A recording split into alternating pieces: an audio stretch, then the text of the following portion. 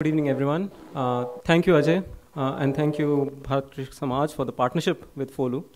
Uh, I'm Abhishek, representing Council on Energy, Environment and Water, uh, an independent, not-for-profit policy research organization, started and based here in Delhi, about 15 years old. Uh, we were uh, running one of the pavilions which was focusing on how do we look at the supply chains in the food system, the distribution system of our food system, as well as the consumer demand. Uh, and when, when we think about the consumer demand in a country like India, there are two big levers. There is a public procurement role, the PDS ration, the midday meal schemes, the urban canteens, the Indian Army, the Indian Railways, which is determining a huge portion of what we consume on a day-to-day basis in the, in the country. And then, of course, there is a private sector, uh, which shapes a lot of the what we call aspirational consumption.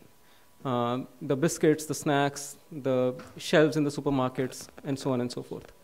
And both of these were deliberated across uh, multiple sessions, uh, trying to cover three days of deliberation in five minutes. So do bear with me if a lot of things get missed out.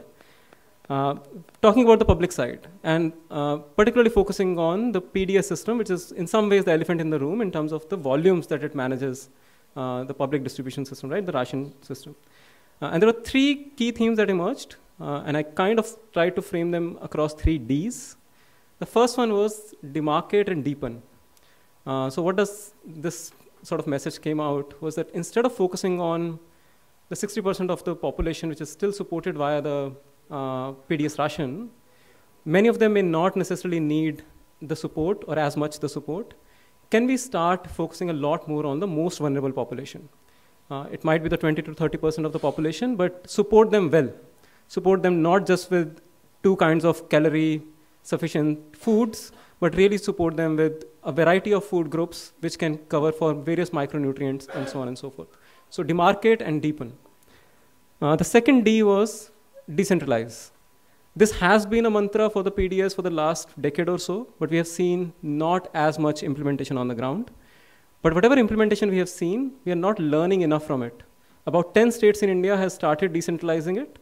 Can we learn enough so that we can scale up? We can learn what are the challenges so that we can solve. We certainly need to do a lot more learning. That was one clear emerging theme. The second theme in the decentralized was state capacity. State capacity is not sufficient in many of the places, and that is why the decentralization is also struggling. And what can we learn from the states which have tried to solve it to some extent? Uh, Karnataka and MP came out as two options, two states to look at. Can we learn more and more from what they are doing right and try and replicate within the right context uh, some replicable lessons? And the third thing in the decentralize is also localize, which means that as you do the decentralization of the power in terms of decision making and fund flow, also look at decentralization to the local food groups, the food groups which are relevant to the state the food groups which are relevant to the rain-fed areas of the state, and so on. So the more you can localize, the better it would be to enable those local food loops, uh, higher sustainability, less resource footprint, and nutritionally far more relevant to the local climate, climatic conditions. And in that vein, the third D is diversify. Uh, diversify to the local food groups, but also diversify uh, based on different kinds of uh, instruments. You don't need to procure everything to enable diversification. Can we look at cash transfers coming in to enable diversification beyond wheat and rice? So that's on the public ration. I'll take maybe two quick minutes on the private sector side. Uh, on the private sector side, again, three things that emerged. First one was there are a lot of emerging disruptors in the system. Uh, new age companies, some FPOs doing phenomenal work in terms of stretching the imagination of our food system, pushing for more healthy, more nutrient dense, and more sustainable options for the customers. Can we support disruptors a lot more? Uh, both creating the enabling environment for them to support each other. And there is a lot that they can share among each other, and we saw uh, sort of slightly surprisingly, there is a lot of interest in they supporting each other but also can the government support uh, through the MSME uh, route, through the Ministry of Food Processing Industry route, and so on. The second thing that came out is around standards and mandates. There are now generic ESG standards around emission reporting, scope 3 emission reporting, etc. But there are no standards which are still mandated around food companies or food uh, businesses in, in specific. We are not talking about reporting on nutrition as a business. Of course, each package will have the nutrition label, but how much nutrient relevant or rich food are you promoting as a business? Uh, there are no uh, standards around food, uh, sorry, the water footprint or the biodiversity uh, footprint or the loss that you are creating with your value chain.